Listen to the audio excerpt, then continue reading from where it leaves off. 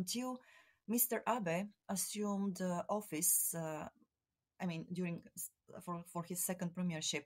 So there was a trend, and there was a willingness to decentralize Kasumigaseki and actually give more power to the local uh, local governments.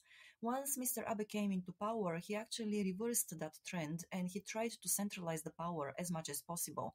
So uh, basically, uh, that power was concentrated in Kasumigaseki, and then there was a very tight control uh, of uh, the bureaucrats by the politicians during the eight years of uh, you know, his eight years in office. So, do you think that this is a new trend once again, a reverse one, this decentralization? Because, uh, as you say, it is inevitable. So, this is a trade-off, but. Uh, since the ministries are not in Tokyo, they are not immediately next to the parliament. There will be definitely more power going back to the bureaucrats. So, what is your take on this before we finish for today? Well, I think um, part of part of that push uh, to disseminate the power in Tokyo was a consequence of of the LDP losing power and the voice of the people. You know, in this this backlash against the LDP um, taking prominence, and then once uh, first Mr. Aso and then Mr. Abe came into power, and then Mr. Abe succeeded himself, uh, you know, several times as prime minister.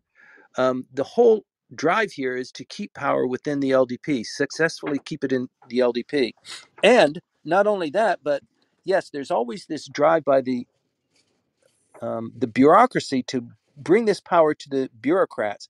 They had that during the 80s and the 90s, and as a uh, uh, as a, a, drive to um, take that power and distributed among the members of the parliament. That occurred for about 15 years. And then the uh, drive to concentrate that power, not in the uh, lower house, but more inside the LDP headquarters. So the LDP headquarters became very strong, very powerful.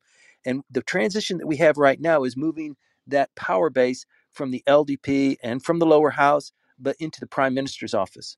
So I, I think that there's yes, this concentration of, of political power will remain in in uh, in Japan, not necessarily Kasumigaseki, Nagatacho more specifically, and uh, more and more increasingly to the prime minister's office. They want, I think, the design is they want the prime minister of Japan to be on the same footing as the president of the United States, the president of South Korea, somebody who who really dominates um, how the country is being run.